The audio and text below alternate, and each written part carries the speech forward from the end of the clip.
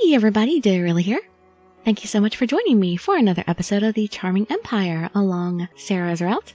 And another reminder before I get into this, Kei's route is being read on Rob's new channel, Bromantic. So if you could please visit his channel to listen to Kei's route, uh, link will be in the description and in the cards. Cause Gentle dropped the route, so Rob's picking it up. But anyway, back to this. So in the last episode, Sera took us for a walk through town so we could see the rebels base and we could see the disparity between the poor people and the rich people and all. You can just sit back, relax, and let me read you a story. It's nighttime at the palace. When can I use this? I twirl around the parasol Sera bought me yesterday. Whenever you want to avoid the sun, of course. Take it with you when you go to the garden or something. Sera rolls his eyes at me. That's not good enough. I can only use the parasol you bought me for a special occasion. Don't use that shabby thing for a special occasion. You need to use something more fit for royalty. Don't call it shabby. I turned my back to Sera with a pout. When we went shopping yesterday, all the expensive things made me dizzy. Sera said the price didn't matter, but I didn't want something that would cost an arm and a leg. So we gave up on the clothes and found some parasols at an accessory shop later. I couldn't decide on one pattern or color, so Sera ended up deciding for me. This is my first present from Sera. I have to treasure it. I clutch the parasol to my chest, and I hear Sera's sarcastic voice behind me. I've never seen anyone hug their parasol before. I'm just hugging it because it's from Sera. But I just give him a dirty look. Sera's only with me now because he wants to make me the Empress. I'm just using this parasol to escape from reality. Last night, Soshi told me my wedding's the day after tomorrow. That means there's only one day left. I was still too confused to bring up the throne issue with him last night. Ah, excuses, excuses, girl.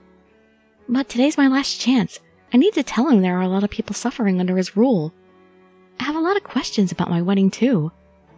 There was a loud knock at the door to call me to dinner. You have to talk to your brother today. There's no more time to think about it. Sera whispers to me before the servant comes into my room. I know. I'll make my decision after the conversation. Sera nods and we head to the dining hall. Hmm. My hands shake nervously. Meanwhile, Soshi is as calm as ever. Good, he hasn't noticed my hands. I don't think he would care even if he did notice. I follow Soshi's example and calmly work on my meal. I don't want to make him angry before I have to. After dinner, the servants clear out our plates. I open my mouth to talk to him, but he quickly rises from his chair. Wait, Soshi! I call out to him, but he continues to the door. Hey, don't ignore me! If you have something to say, tell Togawa. I'm in a hurry. But this is something I need to discuss with you. I walk over to the door and block Soshi's path. He gives me a powerful angry glare. I'm terrified of my brother, but I firmly hold my ground. I said I'm in a hurry. You have no right to interfere with my affairs. I wouldn't dream of it. I just need to talk to you. I meet Soshi's gaze, but he looks away. Togawa, get this girl out of my way. He barks an order behind him to Kagemitsu. Please, don't interfere, Kagemitsu. Kagemitsu stares at me for a few seconds before turning back to Soshi. My lord, surely you can spare some time to. Togawa, are you disobeying my orders? Kagemitsu looks between the two of us before reluctantly bowing his head. Forgive me. Kagemitsu, you're supposed to be on our side. I feel betrayed that Kagemitsu won't listen to me but I don't blame him. Kagemitsu is my brother's most trusted advisor, so Soshi's orders take precedence over mine.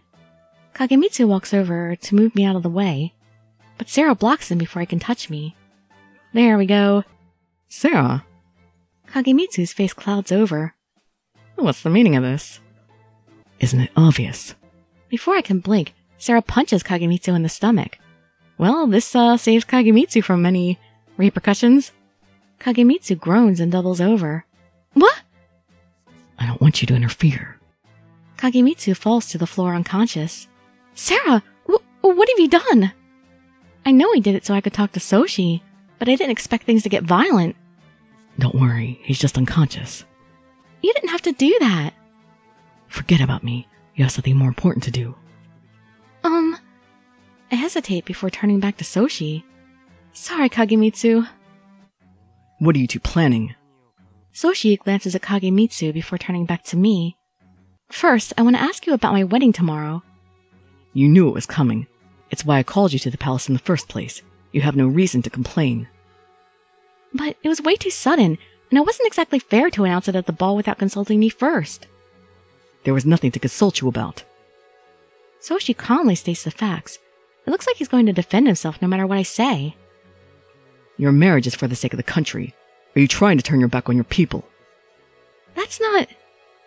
I have a right to stand up for myself. Soshi has a point too. If my marriage can save this country, maybe I should just grit my teeth and put up with it. I glance weakly at Sera, who continues to urge me on with his eyes. I can't rely on Sera for help. This is my problem. I take a deep breath and look my brother right in the eye. You're absolutely right, and there's nothing I want more than to help my country. However, I don't know if my marriage to a foreign prince is a profitable move. You could have discussed that with me first. Your job is simply to do as you're told. Oh, look, he's got a new pose. Soshi's cool tone feels like a slap in the face. Maybe you're right, but I won't be your pawn. Soshi lets out a big sigh. So what do you want me to do? I can't take back what I said at the ball. There's no use discussing this now. I know that, but I refuse to let myself just get married off. I won't get married unless you tell me who it is too and where I'm going. I speak up again before Soshi can fight back. And one more thing. How did you become the emperor of this country? Pfft. What are you planning to do with that information? Soshi smirks, but he's suddenly not as calm as before. That's right, we got a little something on ya. I heard rumors that you pulled some strings to get the position. I'll believe you if you say they're just rumors, but I need to hear it from your own mouth. How did you become the emperor? I'm not obligated to answer that, and you do not need to know. Why won't he answer?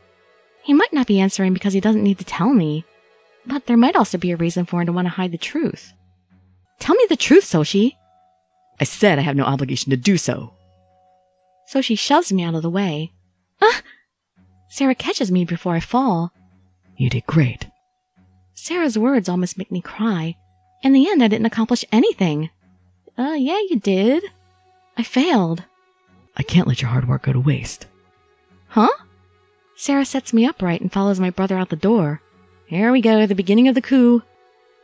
Where's he going? Sera runs out so fast that I'm left behind in a daze, but I quickly come to my senses. There's no time for this. I'm worried. I run out into the hallway and find Sera pointing a sword at Soshi. Sera? First he punches Kagemitsu, and now he has a sword drawn. Not to mention his opponent is my brother, the most powerful person in this country. Man, and he looks pretty sexy doing it too. No one in their right mind would pick a fight with the Emperor. I need to stop him. He's only doing this for me. And the whole country, really? Um, oh, apparently my choice doesn't matter, so. I think I'm going to not stop him. Sera's just trying to get Soshi to answer my questions, so there's no reason for me to stop him. Uh, I wouldn't have guessed that. I would have guessed that he's, uh, trying to take him prisoner or something, or try to force him into something. I actually want to stop him, but I hold myself back. I hope no one sees us. Even if no one sees us here, Sera will be punished if Soshi tells the guards. But all I can do is pray. Sera closes in on my brother and pushes the blade harder against Soshi's neck. I'm sorry, but I have no choice. It's time for you to pay the piper. You can't beat me with the sword. Do you plan to kill me if I don't speak? Sera doesn't loosen his grip on his sword. That's not a bad idea. It's the fastest way to get your sister on the throne. Sera! I thought he wanted to be more secretive about his plan. I can't cover up what Sera said, but now I'm more worried about what's going to happen to Sera than what Soshi's going to say. I know I shouldn't be thinking like that, but I can't help it. I want to stay with Sera forever. While I waver between putting a stop to this or not, Sera speaks. You might not be the only one, but don't try to tell me you're not an accomplice in this government conspiracy. Sera's harsh words don't make it sound like he's talking to the Emperor at all. But something Sera says stands out to me. Accomplice? That sounds like Soshi's not the only one controlling the government. But that can't be right. If Soshi's the Emperor, he should have full control. No, that's not usually how governments work. It's not really usually just one person. They usually have advisors and key people that they work with. How do you know that? Soshi doesn't deny it. I feel like I'm the only one who doesn't know what's going on. Tell us how you became the emperor and who's really running the government.